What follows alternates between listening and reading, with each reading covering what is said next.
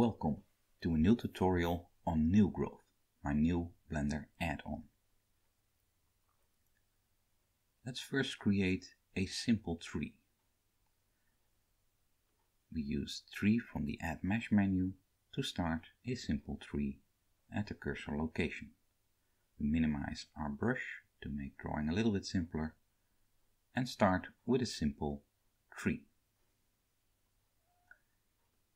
While pressing Alt and pressing the left mouse key, we draw the main stem. We can also draw additional stems. And if we are not satisfied, we can use Undo, Ctrl Z to make sure that we get what we want.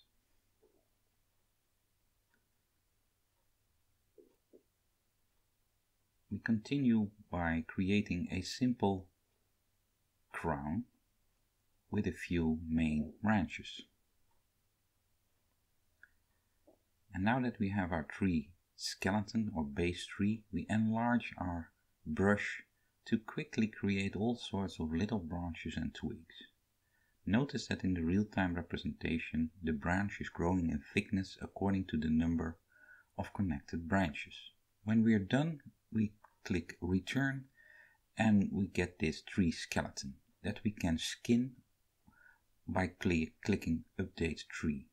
At this point we have several options to change the characteristics. So for instance by changing this ratio we can allow more of the finer twigs to appear. That's all up to you and you can change that later even after saving. These large rectangular or straight branches you might make them a little bit more wiggly by selecting the wiggle switch which makes the tree look even more natural.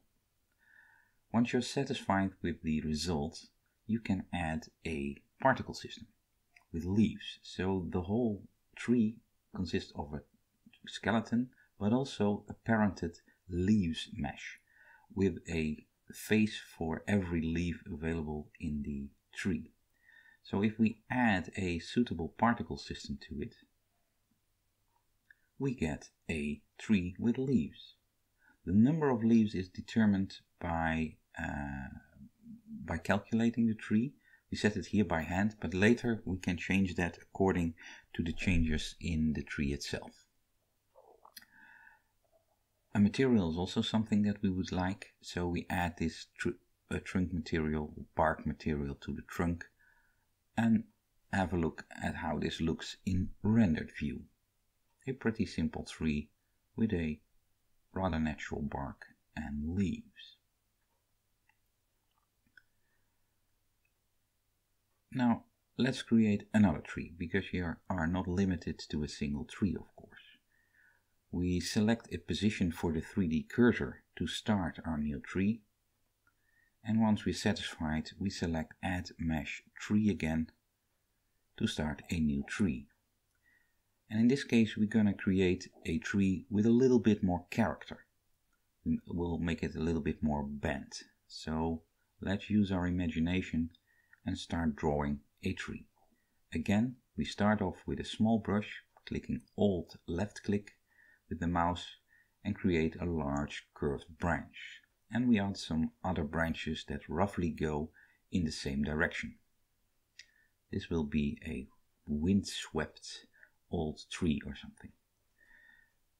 We make sure that the branches are not all in the same plane by moving about the camera a little bit and then we start adding smaller branches and twigs with a bigger brush. We can even, if we are not satisfied with the final look, prune certain branches. We can do this by selecting a branch and then uh, pressing K for kill or, uh, and then the actual branch will be removed. So you get the impression of a sawn off branch or a broken off branch. When clicking return and then update tree, the tree will be skinned and again we can change the properties of the final tree um, and add a uh, particle system with uh, leaves to the tree to see the result. So the particles, the leaves are connected to the leaf mesh and uh, it will be changed, the number of faces in the leaf mesh will be changed by the leaf density once we update tree. And you will see that we now have a tree with more uh, leaves, not just on the endpoints, but a little bit more into the crown as well. Here we want to add another uh, bark material to the tree. And we use the same bark material here. We add it to the trunk. And let's have a look how this looks in um, in full view and in rendered mode.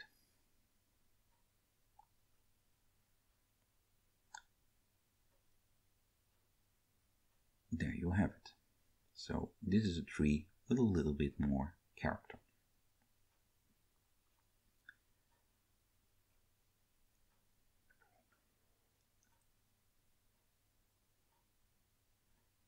We have of course more possibilities. So let's remove these trees and start over.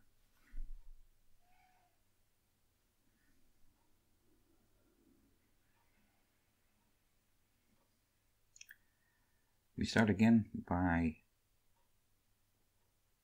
positioning the cursor, the 3D cursor, on a position where we want to have the root of our tree and start adding a new tree. Now the object of this exercise is to create a tree with more than one main trunk. And we do this by positioning the 3D cursor while drawing and then pressing R for root. And then at every point we press R, a new root element is positioned. And when we start drawing, the trunks will appear not only from the initial point, but also from the new root points, which makes it very easy to create a tree with multiple trunks or maybe a bush or some hedge or whatever, um, while still maintaining the overall uh, natural look. At any point in time, we can add additional root points. So again, if we want to position a point somewhere else, and this was not such a good choice as you see because it, it makes for a lopsided tree, we press Ctrl Z to undo it and think a little bit better about positioning the new root position. So we make sure that it is at a point a little bit to the side of our main tree. This will be good. Position it at the same height level.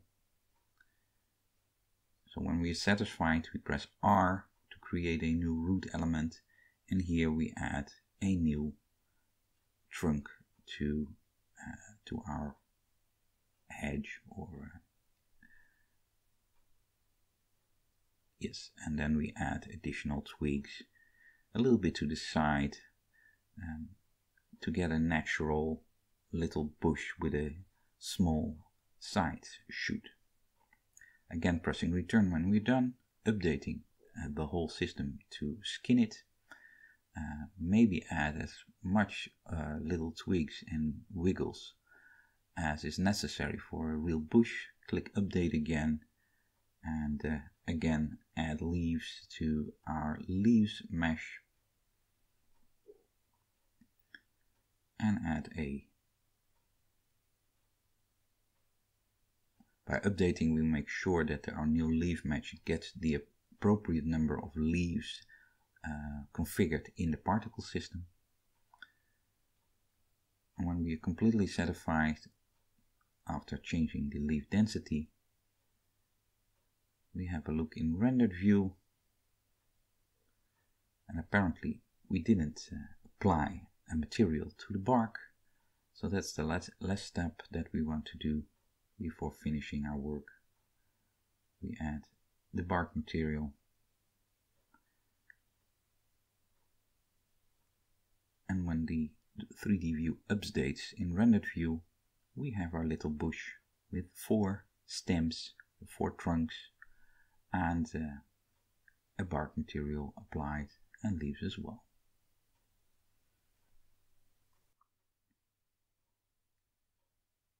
This is all for now. Thanks for watching and uh, NewGrowth is available on Blender Market.